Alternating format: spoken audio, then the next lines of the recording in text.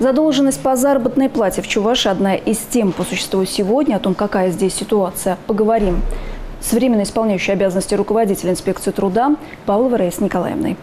Раиса Николаевна, здравствуйте. И сразу вопрос. Инспекция труда регулярно проводит проверки и по плану, и по обращениям граждан.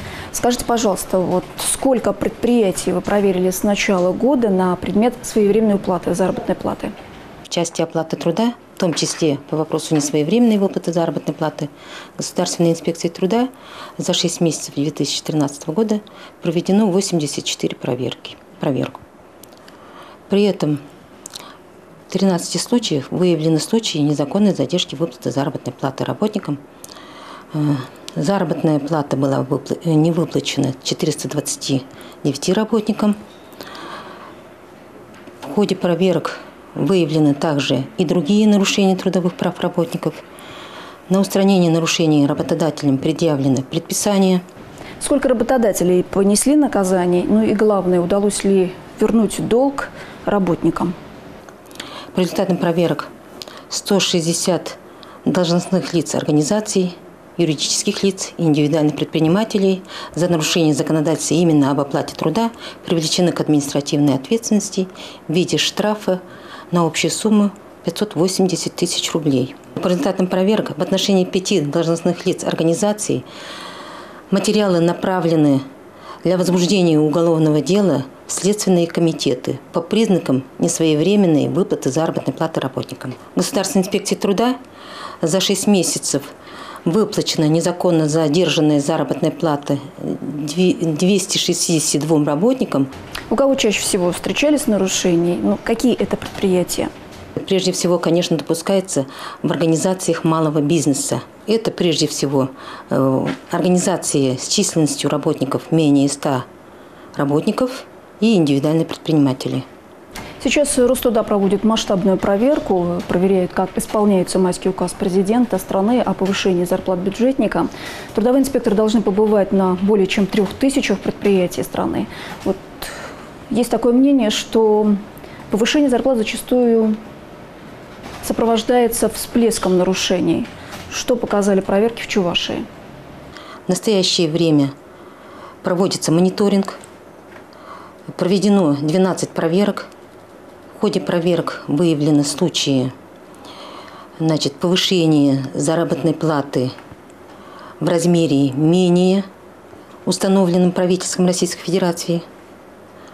На устранение нарушений в настоящее время предъявлено предписание – Данный вопрос находится на контроле Государственной инспекции труда. В организациях э, города Чебоксары такие факты выявлены и в некоторых районах республики. Вступил в силу закон, который запрещает работодателям указывать в объявлениях о вакансиях национальность, пол, семейное положение, место регистрации претендента на работу. Вот какое наказание понесет работодатель, если будет действовать иначе? В отношении должностных лиц и юридических лиц предусмотрена административная ответственность в виде штрафа, так в отношении граждан предусмотрена административная ответственность в виде штрафа в размере от 500 рублей до 1000 рублей. В отношении должностных лиц э, предусмотрена ответственность в виде штрафа в размере от, 5, от 3000 рублей до 5000 рублей. А в отношении юридических лиц в размере от 10 тысяч до 15 тысяч рублей. Запрещается необоснованный отказ в заключении трудового договора с гражданами в зависимости от пола, возраста, национальной принадлежности, в зависимости от социального происхождения, семей, по семейным обстоятельствам и другим вопросам. Кроме того, запрещается отказ в заключении трудового договора в отношении беременных женщин и в связи с наличием детей. При выявлении указанных нарушений работодатели, в том числе юридические лица, индивидуальные предприниматели и должностные лица организаций, привлекаются к административной ответственности в виде штрафа. В случаях отказа в заключении трудового договора Государственная инспекция труда рекомендует работникам затребовать от работодателя письменно мотивированный отказ в случае возникновения спора по вопросу заключения трудового договора рекомендуется обратиться в суд.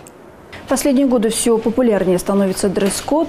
Где-то на каких-то предприятиях, в каких-то организациях он обязателен.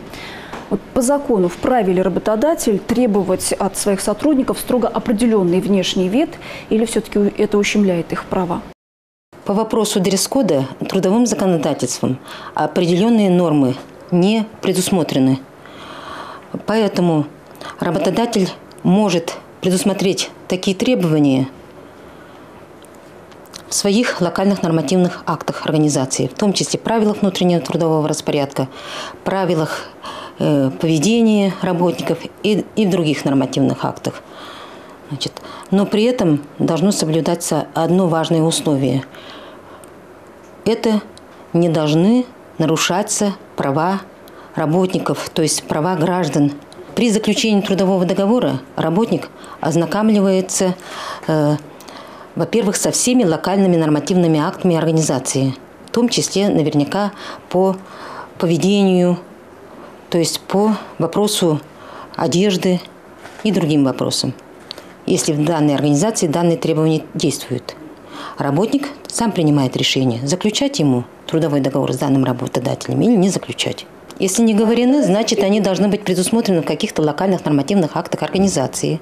Если и там не предусмотрено, конечно, работник может э, с жалобой обратиться в соответствующие органы, может, Государственную инспекцию труда, прокуратуру, в суд.